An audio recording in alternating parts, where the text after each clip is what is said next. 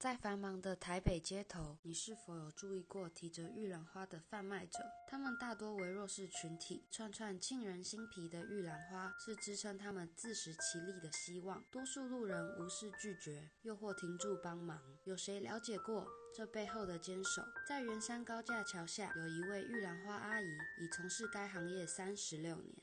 民国七十二年开始，因为那时。上班也刚好工作结束，而小孩子还小，对啊，那就刚好南部的那个亲戚他们也是有种这一个这个花，他寄来给别人卖的时候，他就是没有办法说掌握到它的价钱呐。由于玉兰花夜晚开花的特殊性，业者们需要凌晨作业，才能保证白天能够新鲜贩卖。但近几年因气候、政府、接卖者等原因，该行业更日趋衰弱。天气，我们从八八风灾以后，我们的产产量就很少了，就常常会会不够供应啊。那也刚好了，刚好最近好像生意不是说很好，也也就刚好应付这一些客户也就差不多。还像现在的庙宇有没有？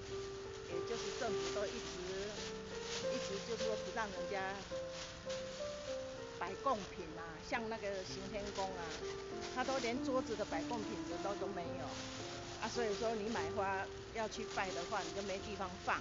现在的客户等少了一半，就是有的老了啦，哎，老的比较多啦。那时候有很多哈七八十岁、八十几岁的。现在那一些都已经没有了，都已，即使已不如以往的销量，且接卖者与陈慧间并没有合约，仅是口头约定，陈慧依然坚持将花香传递，展开日复一日的夜间旅程。那你要负责啊，因为现在花农那里他们东西种了，树种种下去了，你你不跟他收的话，他没有地方可以。没有没有人家可以跟他收啊，收这个的话，有有客户有固定啊，也要对我的客户的小贩也要负责啊。那么多人四五十个人，你现在要分去给其他的大班的话，也他们也很难收吧。陈慧今年已六十八岁，人日夜颠倒，风雨无阻，只要能自食其力，便甘之如饴。差不多。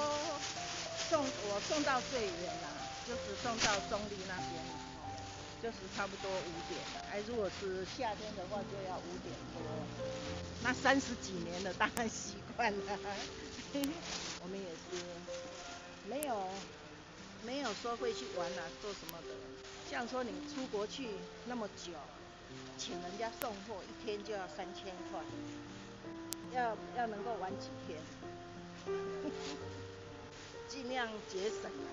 现在的收入那么少，以前的收入是要养小孩，对，三个小孩子要读书。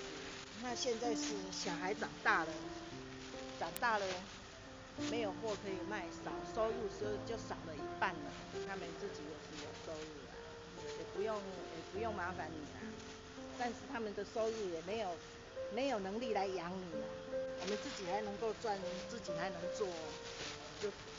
就做嘛。陈慧不知自己会坚持到何时，更不知日后玉兰花行业会走向何方。可她依旧微笑着，整理打包花串，扛起责任和生活压力，在夜里散发芳香。